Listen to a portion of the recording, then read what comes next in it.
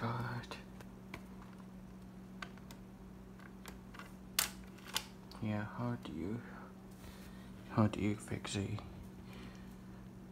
DVD player saying away your DVD disc not working?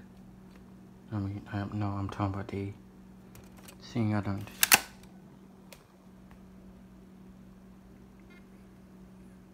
See, I don't hear a spank.